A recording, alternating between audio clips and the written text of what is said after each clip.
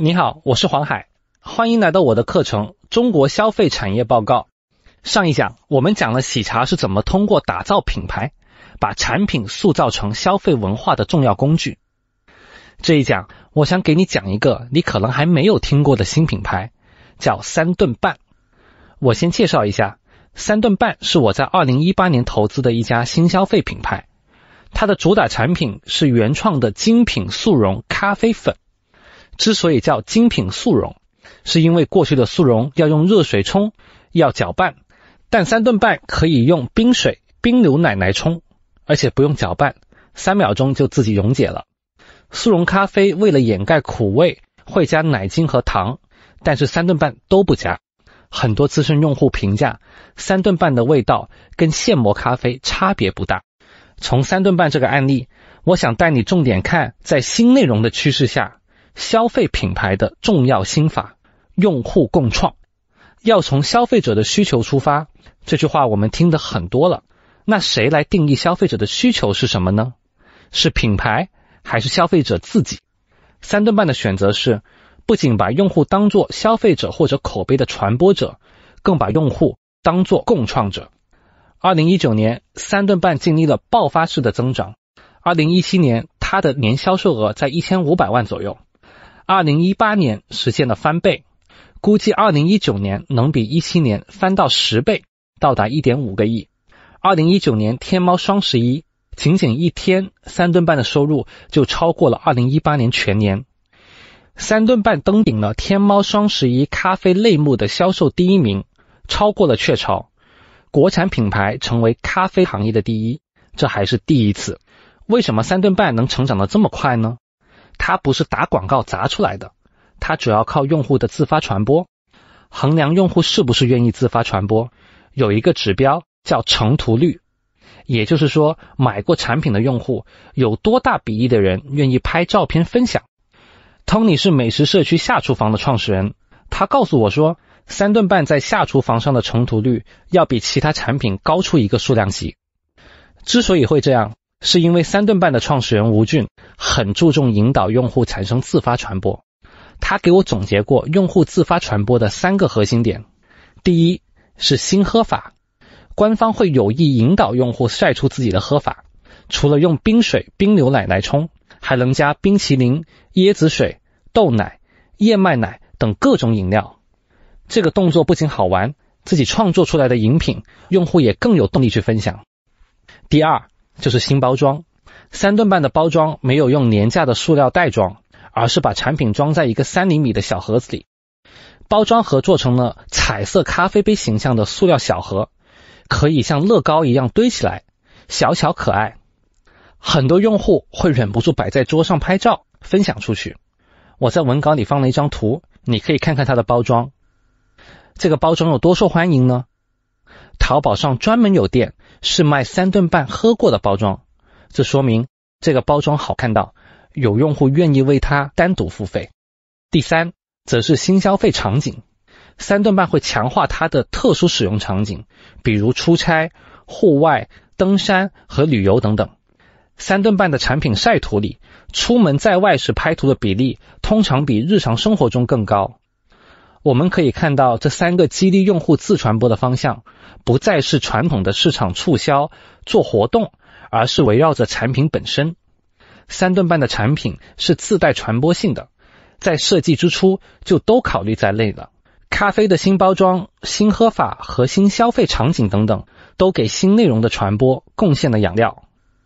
下面我们就来看看这个高传播性并且完全原创的产品是怎么被打造出来的。首先，在产品需求的交叉地带来做技术创新。三顿半火起来之后，很多人问我，这么有创意的团队是什么背景呢？听到答案都很意外。三顿半是一家在长沙的公司，也没有大公司高管的背景。创始人吴俊大学毕业之后，先在北京做广告策划，零八年回到长沙创业，做过烘焙，也做过家居用品，直到二零一五年才摸索到咖啡行业。有了三顿半这个品牌，吴俊最开始卖的是挂耳咖啡，后来又卖过精品咖啡豆和手冲咖啡壶，这些产品市面上很多人在卖。不过从一开始，吴俊就做了一个不同的动作，三顿半经常去下厨房发布产品，跟用户交流，培养了很多种子用户。在每一次迭代产品的关键环节中，吴俊都会把样品送给下厨房平台上的达人和重度用户，征询他们对产品的意见，来迭代下一个产品版本。只有这群挑剔的味蕾都认可，那产品质量才算是过关。在大量的用户反馈中，吴俊发现喝一杯既方便又好喝的咖啡这个需求一直没有被很好的满足。在现有的解决方案里，手冲是最好喝的，但是最复杂。速溶是最方便的，但是味道不好。吴俊就想有没有办法能兼顾方便和好喝这两个需求。他们把目光投向了改造速溶。虽然星巴克和瑞幸这些现磨咖啡在这两年是市场关注的焦点，但是速溶咖啡依然占据了中国咖啡市场百分之七十左右的份额，天花板非常高。吴俊就去找供应链来实现。他找了一家只有几个人的生产工作室，一起来研发怎么让速溶咖啡来保存最好的风味。传统速溶难喝是因为豆子品质原来就不算好，再加上工业流程中要经过好几轮高温高压，咖啡原本的风味都流失了。为了保证口感，吴俊想到了精品咖啡里会用的低温萃取方式，虽然耗时长，但是能保持咖啡原有的风味。工厂的负责人也觉得这个产品想法很酷，答应和吴军一起来尝试。可市面上没有现成的流水线能满足，三顿半就给工厂提供了无息贷款，支持工厂购入了萃取设备，一起重新设计了萃取流程，最终实现了创新。随着三顿半的成长，合作工厂也从最开始几个人的小型工作室，成长为超过一万平米、产能数亿的现代化工厂。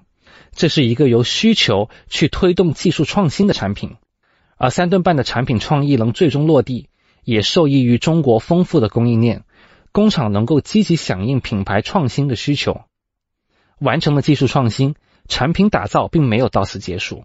我们在前面几讲中讲了，这一波最大的变化就是新内容的变化，越容易在新媒介上呈现的产品，就越能够被广泛传播带货。咖啡好不好喝是看不出来的，那吴俊和三顿半团队是怎么样用户传播起来的呢？那就要靠第二步，设计包装。包装一定要好看，颜值即正义。我们前面说过，三顿半的包装已经好看到能在淘宝上卖二手了。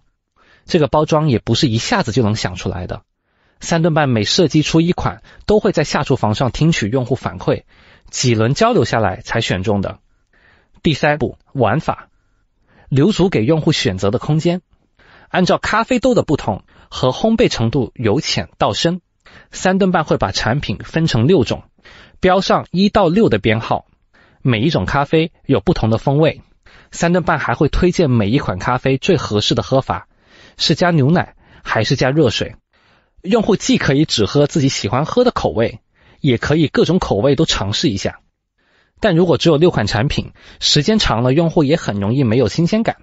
三顿半在基础款之外，还会不定期的推出零号隐藏款咖啡，跟其他文化品牌合作，或者大师手冲咖啡的限量款，通过隐藏款不断的上新来刺激用户，也让产品的品牌内涵更加丰富。而贯穿口味。包装和玩法这三个方面，三顿半的产品定义就是一个典型的用户共创的过程。吴俊设计了大量的用户调研问题，通过达人向他们的粉丝收集反馈，例如不同风味的产品更喜欢哪一种，哪种的包装形式更好，你会送礼呢还是自己喝？三顿半主要会跟用户讨论产品的体验，从开箱感受、产品操作、说明指导。风味、口感、包装规格等等，用户都会给他们各种各样的建议。当然，用户的意见他们也不一定会照单全收。吴俊说，他更多的是从中发现趋势和细节，用趋势去把握用户需求，用细节把产品交付的更加完整。三顿半跟用户的关系还没有在购买这个环节就结束，还有第四步回收，包装很好看。但喝完了就扔，也很不环保嘛。三顿半就设计了返航计划，在每个城市设置指定的回收点，用户把空杯子拿到现场回收以后，可以免费得到三顿半的周边小礼品和兑换新咖啡。回收地点都是三顿半精心挑选的合作伙伴，比如在苏州啊，那就是在诚品书店。这也加强了用户对三顿半调性的感知。这个活动让用户享受到了实惠，还参与了环保，提升了意义感，也提升了对品牌的粘性。三顿半和喜茶的崛起，我们都可以套用一句追星粉丝的名言：始于颜值，陷于品质，忠于品牌。年轻用户一开始是被产品的颜值吸引，比如喜茶的饮料和三顿半的包装。尝试了产品之后，产品的品质要经得起考验。最后再加上品牌的调性符合年轻人的价值主张，最终就能产生精神认同和品牌忠诚度。